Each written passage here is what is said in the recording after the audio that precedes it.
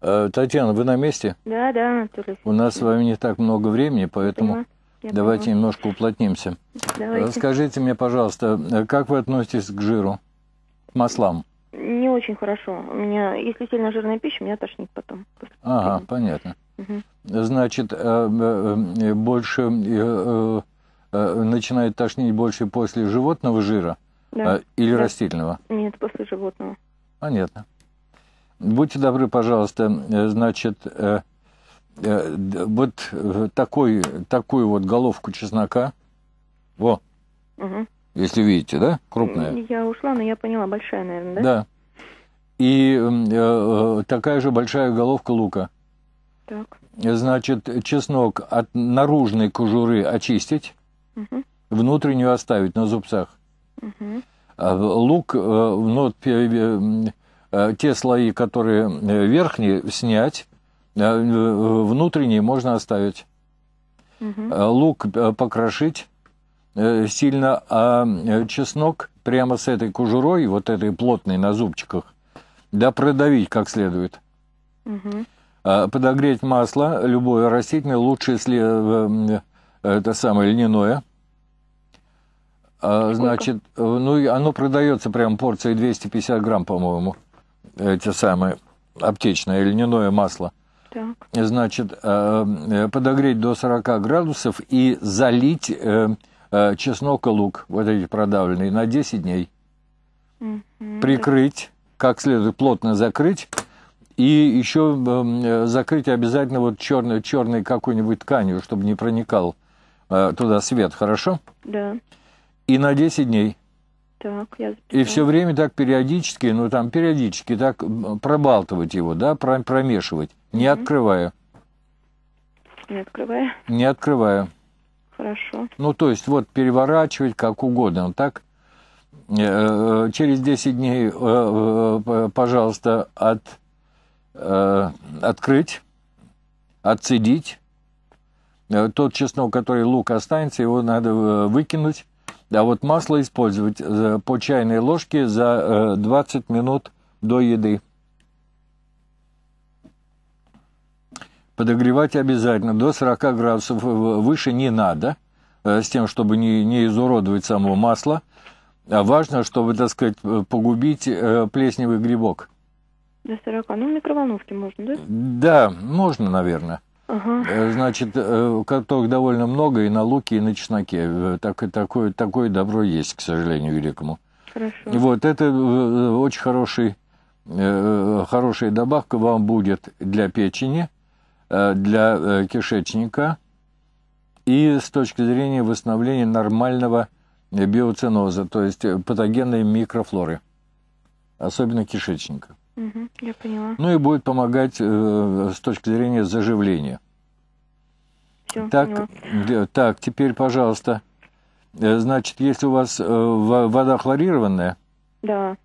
Значит, э, э, обязательно подогревайте ее, э, питьевую, я имею в виду, для питья. Ну, Э, Обязательно подогревайте ее так градусов до 40, тоже не больше. До 40. Э, С тем, чтобы, так сказать, усилить э, э, выброс, сброс хлора. Угу. Да? Да. Вот это. И уже после этого, пожалуйста, пейте эту воду. Поняла. Отдельно, хорошо? Конечно, поняла. И теперь, пожалуйста, значит, есть такая трава, называется солянка холмовая. У вас она есть. Как? Еще раз. Солянка холмовая. Солянка холмовая. Да. Она у вас есть э, в, Кемеровской, в кемеровских Ага. аптеках. Значит, э, солянка холмовая, три раза в день, полуторная доза. В день полуторная доза. Три раза в день по, по- э, да, там, э, значит, вы должны, там столовая ложка, по-моему, на стакан. Мы делаем так. Столовая ложка в термос заливается стаканом э, горячей воды, э, ну, где-то в пределах 40 градусов, опять тех же самых, э, с тем, чтобы нам не подвергать э, температурному рас- расщеплению, температурному воздействию белковые структуры, которые есть в этой самой э, солянке холмовой. И оставляем на ночь в термосе. Так. А утром отцедить, вот это вы и употребляете. Но только вы должны класть не э, одну столовую ложку, а полторы. Так. И три раза в день во что бы то ни стало, пожалуйста, между едой.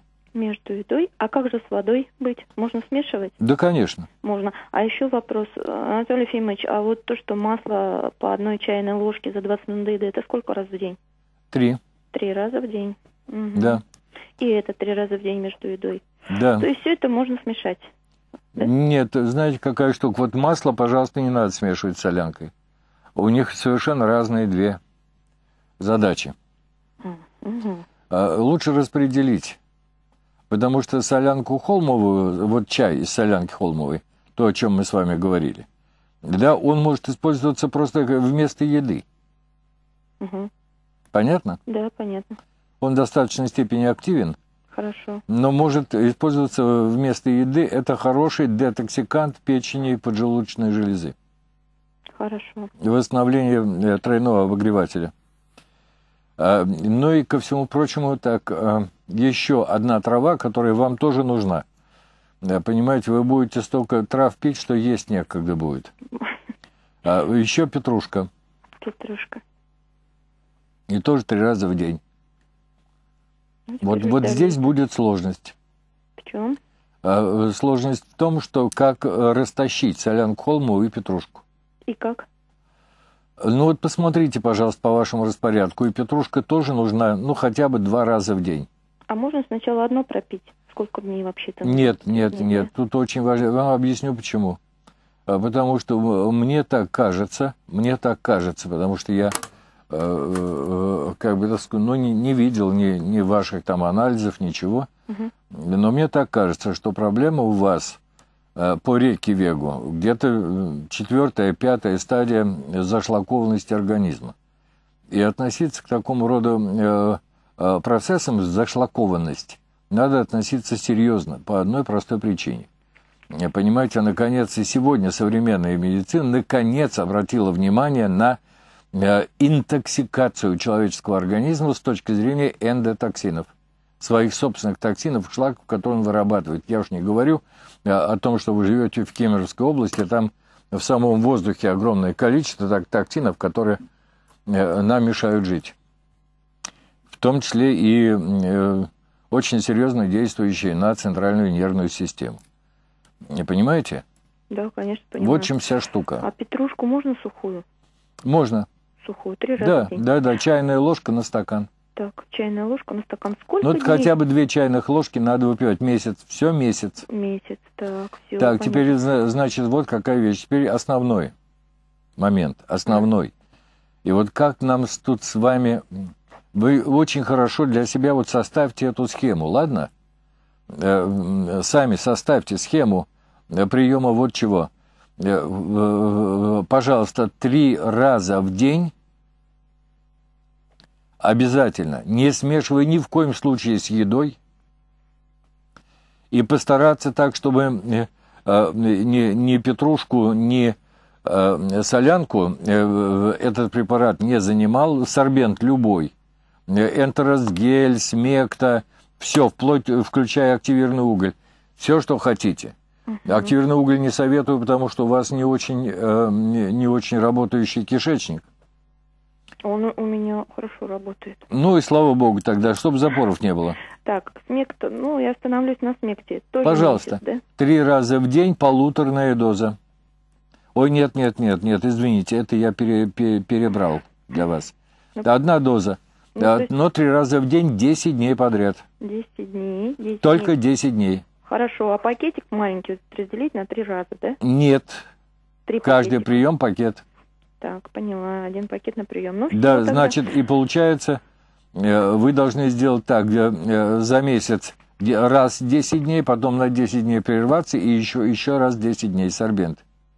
Угу, 10 дней, потом перерыв и еще 10 дней. Да.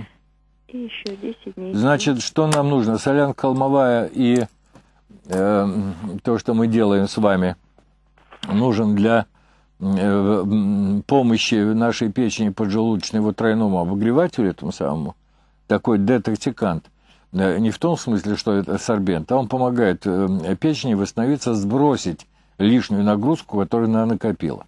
Угу. Да, очень хорошо помогает при э, жировой дистрофии э, печени. Э, что, так сказать, в вашей ситуации вполне-вполне возможно. А во-вторых, солянка холмовая помогает нам в силу того, что она хорошо регулирует э, жировые отношения в организме, помогает нам э, немножко э, по -по помогает нам восстановить стенку сосудов. Стенку сосудов. Непроходимость, стенку сосудов.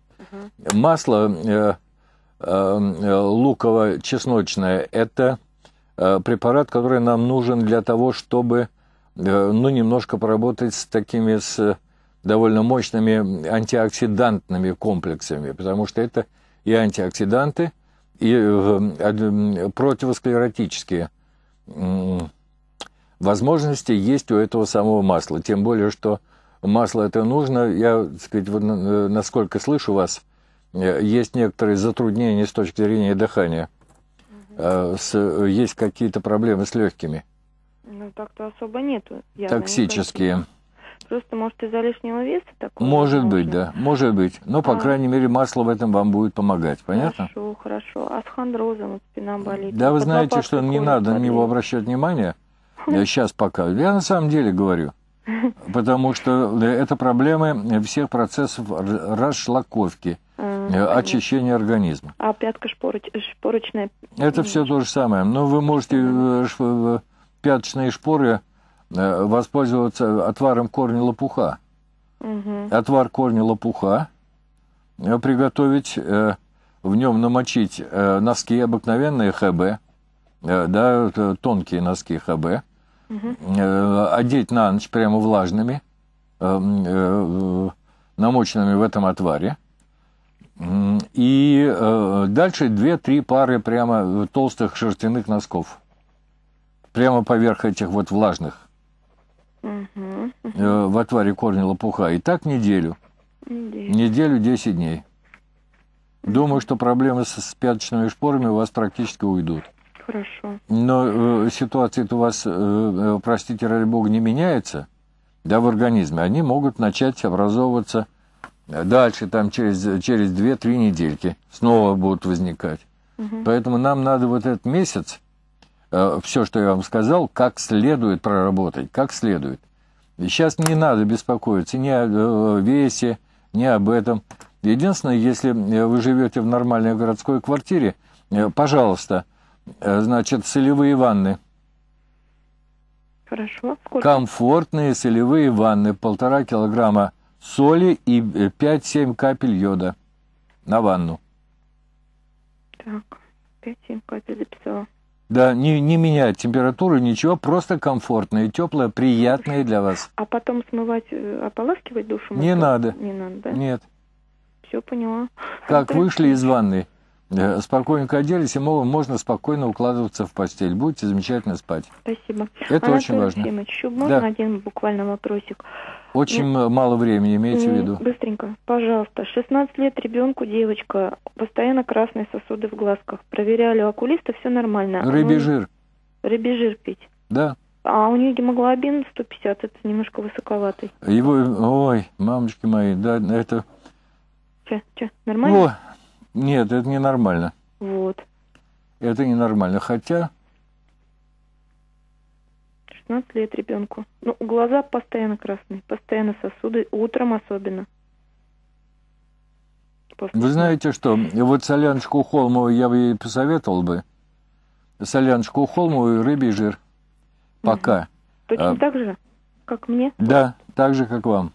И рыбий жир. А рыбий жир Поскольку? Много? Да, три раза в день по, по, по пять, пять штучек мелких капсул. Ага, по пять штучек. Вот, а если большие капсулы, то две. Хорошо, а с гемоглобином что нам делать с таким высоким? А вы знаете, какая штука? Тут э, даже не могу вам сейчас так вот сказать, потому что надо разбираться. Ну, я, я боюсь, что я просто не успею. Давайте я вам на следующий эфир позвоню. Пожалуйста, пожалуйста, попробуйте. Ну да. все, спасибо большое вам. Хорошо, всего доброго. До свидания. Спасибо. До свидания. Я немножко э, э оторопился разговаривать с Татьяной, потому что я знаю, что там есть еще один звонок, и э, э, человек ждет. Алло, я слушаю. Алло.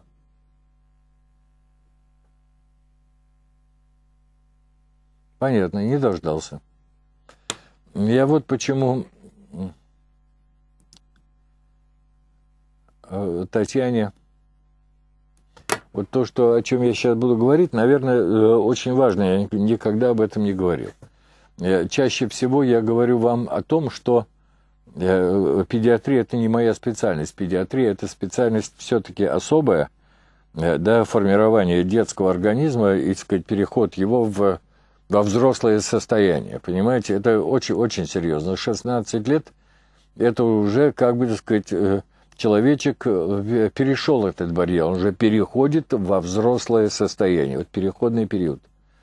И в этот переходный период многое чего меняется. Меняется гормональный состав, меняется э, метаболизм, обменные процессы меняются. Э, понимаете, так, сказать, метаболизм – это штука чрезвычайно серьезная. И э, очень важно в этот момент знать вообще, что, что, что и как происходит, э, какая нагрузка у человека, э, что, что этот человечек больше всего любит. Даже это, и то очень важно знать. И вот в это время как раз те же самые солевые ванны чрезвычайно важны. Очень важен рыбий жир. Рыбий жир чрезвычайно важен и для легких, и для тканей, и для кожи и для э, общего формирования организма, вот даже э, с точки зрения формирования гормонального статуса этого человека. Понимаете, потому что нас приучили к тому, что не есть жир, э, избегать сливочного масла, избегать животных жиров, растительное масло, все замечательно. Только при этом нам не говорят, что без, без нормального употребления жиров, скажем, почему я, так сказать, сконцентрировал немножко вот э, в своих советах в разговоре с Татьяной э, на масле, на жире, на сливочном масле и так далее. Понимаете, потому что без жира не может быть нормального производства гормонов наших, потому что жир это исходное для производства гормонов. Понимаете, не могут работать нормальные легкие, не может быть переноса кислорода правильного, кислорода воздуха в кровь, Понимаете, и таким образом э, э, э, не, как вам сказать, если этот перенос нормально осуществляется, то есть кислород поступает в кровь правильно, целенаправленно, в достаточном количестве, у нас нет с вами гипоксии. Нет гипоксии, у нас идут нормально процессы метаболизма, обменные процессы. А раз нормальные процессы, метаболи... обменные процессы идут нормально, мы с вами живем правильно. Понимаете, у нас с вами энергии хватает на все. Понимаете, и на то, чтобы жить, и на то, чтобы отдыхать. Потому что для отдыха нам тоже ведь энергия нужна. Понимаете, нам кажется, что э, тогда, когда мы с вами лежим э, или спим, у нас больше ничего и не происходит. Как раз в это, в это время и происходит максимально, э, с максимальным напряжением та работа, которая сохраняет нас. Тогда, когда наш собственный организм, наш мозг – в, в, приводит в порядок э, и борется с теми нарушениями, которые мы с вами заработали в течение вот этого активного э, периода бодрствования. Вот чем вся штука. Понимаете, вот для детей это особенно важно, потому что вот в, в, в этот период неустойчивости. Поэтому тут надо очень хорошо и очень важно в это время соблюсти колораж питания. То есть питание не должно быть избыточным ни в коем случае. Ни в коем случае не должно быть избыточным. Потому что именно в, этом, в, этом, в это время э, может начать формироваться то, что мы потом будем называть третьей, четвертой, пятой, шестой степенью зашлакованности организма, интоксикации организма. Вот в чем вся штука. А понимаете, вот для того, чтобы давать там какие-то рекомендации или советы э, по отношению к подростку, э, тут надо очень-очень хорошо в этой истории разобраться, что там, что там происходит не так. Понимаете? Особенно это касается колоража. И особенно это касается работы печени, желудочно-кишечного тракта, сосудов. То есть вот той основы, э, которая будет, как вам сказать, э, будет держать этот организм, детский организм, вот взрослеющий организм, будет держать в силе и в упорстве и э, в хорошем состоянии, в отличном состоянии. Это очень важно. Понимаете? А мы как-то не обращаем на это внимания. Наша задача все время накормить, напоить, одеть, обуть.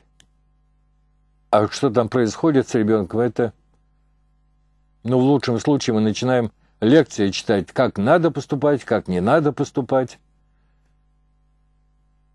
Зачастую травмируя ребенка. Вот. А вот две основные вещи – это мораль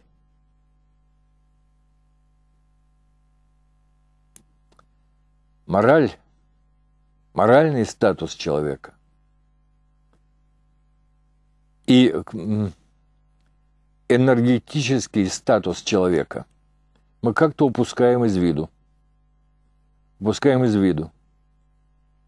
Понимаете? Мы лучше расскажем нашей дочери, э, как класть макияж со всеми вытекающими отсюда обстоятельствами, но забудем рассказать Э, о том, э, в чем вообще настоящая роль женщины. Понимаете?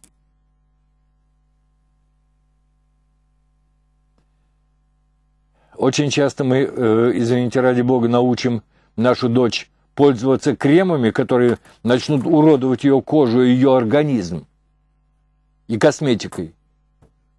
А то, что это происходит повсеместно, это известно. Я с ужасом смотрю на экран телевизоров и вижу вот таких вот крох, которые э, э, как бы э, косметика, которая якобы им полезна. Чем она полезна, непонятно. Понимаете? Я все время вспоминаю одну и ту же историю, которую знают все абсолютно, просто надо почаще напоминать, что существовал такой праздник. Легенда такая существует – золотого человека в Перу. Когда во время празднования брали маленького ребенка и покрывали его золотой краской. Это праздник золотого человека. И этот мальчик под этой золотой краской должен был находиться целый день, в сутки. Он проводил сутки и погибал. Потому что он не мог дышать. Он терял силы настолько, что погибал. А все думали, что это счастье, не посланное, не спосланное Богом. Вот и сейчас короли косметики уже дошли до того, что уже трех-четырехлетних э, детишек уже покрывает Бог знает чем –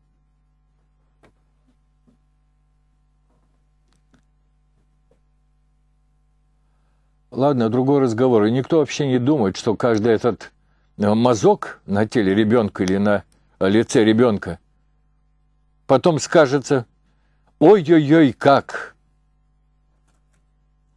Об этом никто не думает. Думают о так называемой красоте, которая красой к красоте не имеет никакого отношения. Друзья мои, мы встречаемся с вами через неделю – так сказать, я продолжу формировать программу. Пожалуйста. Еще раз хочу вас поблагодарить за слова и поздравления в мой собственный адрес. И еще раз говорю, ну, 70 лет, ну что же делать? Будем жить дальше. Будем смотреть, как быть. И насколько, насколько я смогу, буду помогать вам. Всего доброго. С Новым годом!